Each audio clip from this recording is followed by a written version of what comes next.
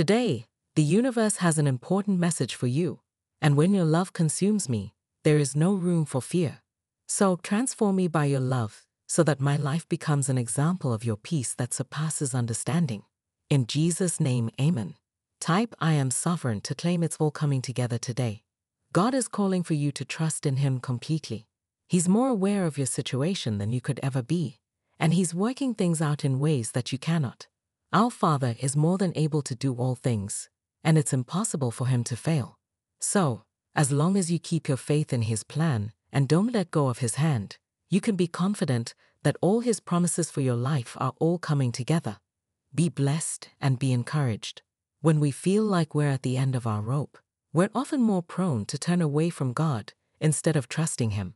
Let's thank Him tonight for being a stronghold for us when we're overwhelmed. Let's pray for hearts drawn to seek Him first when we feel discouraged and oppressed. His name alone brings power and authority to places doubt has crept in, and we can praise Him in advance that when we seek Him, He will never forsake us.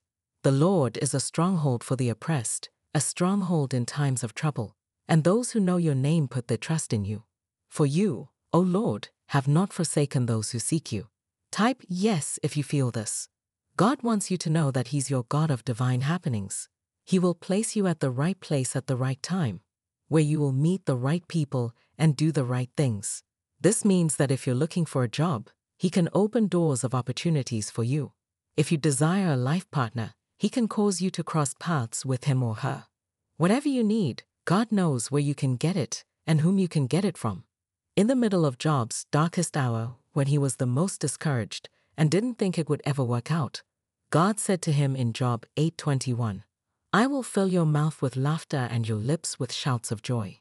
God is saying to you what he said to Job. Joy is coming, breakthroughs are coming, healing is coming, and promotion is coming. God is about to fill your mouth with laughter. He's going to do something so amazing, so extraordinary. You'll be so overwhelmed and so grateful that all you can do is laugh. Your mourning is going to be turned to dancing and your sorrow turned to joy. Type yes to receive. If you think it's over, think again. God always has another move. I declare a change is coming in Jesus' name. Something you've been battling is about to turn around. Something that's been blocked is opening up. It's not over. God is about to move on your behalf. The enemy has been trying to take you out since you were a child because he knows you're a person of destiny. He knows you have seeds of greatness. He knows you've been crowned with favor.